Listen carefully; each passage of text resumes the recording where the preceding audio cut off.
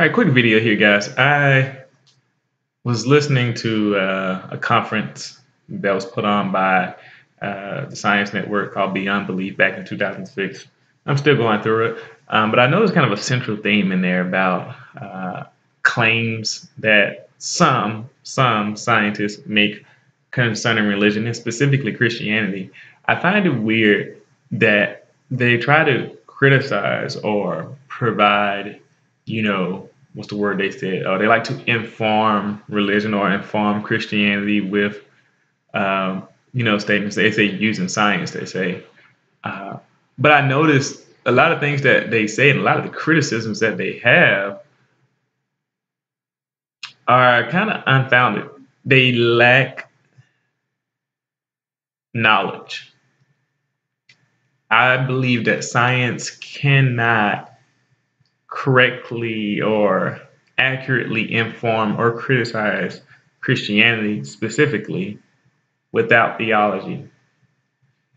I noticed that a lot of the things they have to say, a lot of the criticisms are a result of their lack of theology, their lack of understanding concerning the scriptures. They do not know how to interpret interpret the scriptures, so they say things that in reality just don't make sense.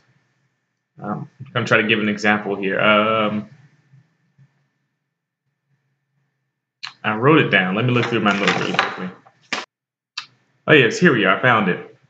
The number one example is when they try to say, you know, you know, it's not your the stuff you believe. It's not based on logic or fact. It's it's based based on faith, as they call it.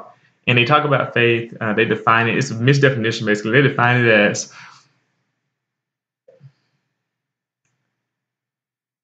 you know, just blind belief, not thinking, just accepting it based on authority.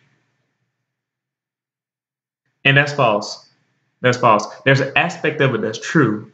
We do accept things based on authority, but authority, that authority is God Himself, who is qualified to be an authority, who you would listen to. Why would you disobey or not believe God? But they're also leaving out the fact that the reason why we put this trust in God or have faith in God is because logically it makes sense to do so. If a person is all truth and is the creator, they would know what's best for us. They would know the truth. So why not listen to that that individual, that person? Not only that, but it's not just I'm just believing just because I was told. I'm believing because it looks like reality. What I am seeing, what I'm being told fits the description of reality. And I think you would think that scientists would understand that. Because science is here to try to describe the world around us, try to describe the universe, try to explain it.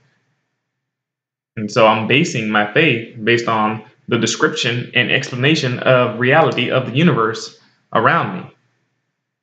That just makes sense to me. That's deeply logical.